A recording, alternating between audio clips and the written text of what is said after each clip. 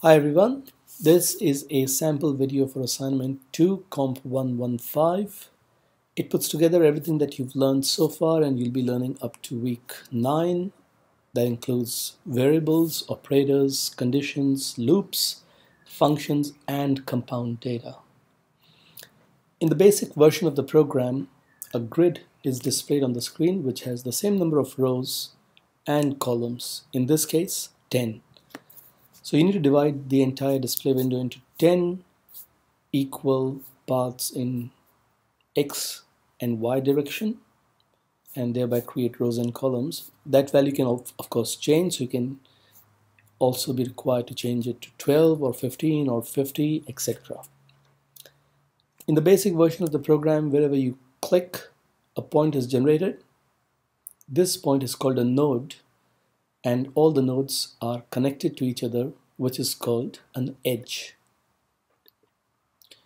So you have all these nodes and the nodes are connected to each other and that's your basic graph.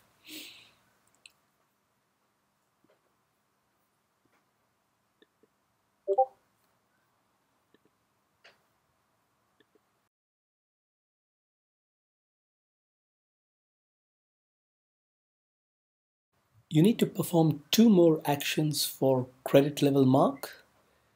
The first is that when you click the mouse, the node should not be generated at the exact location where the mouse is pressed, but the nearest grid point. So if I click the mouse over here, the node generated would be at this grid point. So let's try this. And you can see it's generated there. Similarly, if I click the mouse here the gen node generated is to the point which is to the immediate top right of it to the bottom right and to the bottom left which means that we are guaranteed that these nodes are generated only at grid points.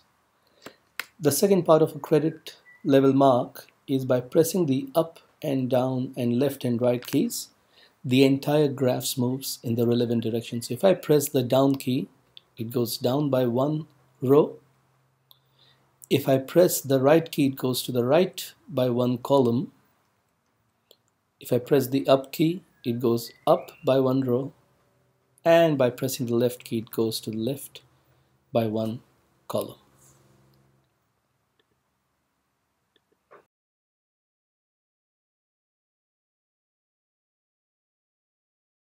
For a distinction level mark, each node that you generate should be highlighted with a red or blue color if it's the it's got the lowest cumulative distance as computed against the other nodes or the highest cumulative distance as compared to the other nodes. So that was a convoluted sentence. Let me explain it one more time with the use of an example. Let's say I create a node another node, a third one, a fourth one, a fifth, sixth, and seventh. So you can see that this node over here is in red color, while this node at the top left side is in blue color.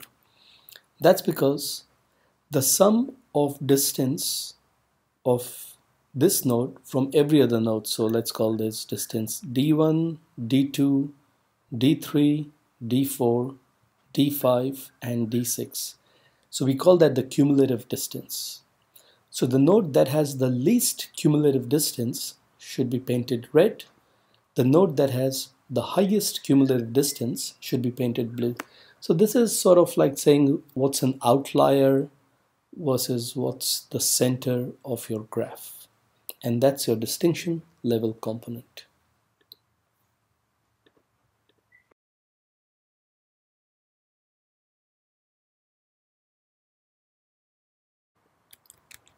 For the high distinction level mark, you should be able to pick up a node using mouse pressed, drag it across, and then drop it at another point using mouse released. So if that's my first node, my second node, my third node, fourth, fifth, and sixth. Then I realized that this graph is not really symmetric as I wanted, and I would like to drag this node and put it to the top. I can drag it, and you can see that as the node comes closer to the center, it changes to red from the other nodes. So I move this node over here. Similarly, this is the node I want to put it up so I can move it to the top. So this means that I can edit my graph as necessary and adjust it. And that's your high distinction mark.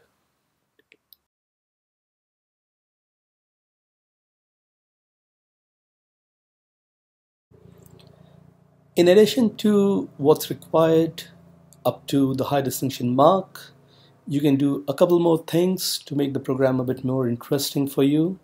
And these are A, whenever a graph is enclosed or the shape is enclosed, it should be filled with light blue colors. So you can see if it's a square, it's filled with light blue colors. But if I create a node over here, you can see that some of the edges intersect and this is the condition for when the shape should not be filled with any color. But if I drag it to the left you can see the shape is colored once again. So you should be able to color an enclosed shape or I should say a fully enclosed shape. Another thing that you should be able to do is by double clicking on a node, click 1 and click 2, that node gets deleted from the graph. I create another node, I move it over here, another node, move it over here, and a final node which I would like to move over here, let's say. So I create a graph and let's say I don't need this node anymore, so I can click once and twice and that node gets deleted from the graph. Again, 1 and 2 gone. So these are some of the things that you can do for uh, yourself. Another thing that I've implemented that uh, you can do is by pressing the enter key, a new graph is generated. Then I can press the enter key again and a new graph is generated. I can press enter key again and a new graph is generated. So those are some of the things that you can do as challenging exercises just for your own satisfaction. These three things, namely of filling the shape with a color if there are no intersection points, double clicking on a node to delete it and creating multiple shapes by separated by an enter key. These are the things that are not assessed in assignment 2. So that's it from me. All the very best for your assignment. Make sure you study well. And if you need any guidance, post it on general discussion forum and we'll try to help you to the best of our ability. Thank you very much.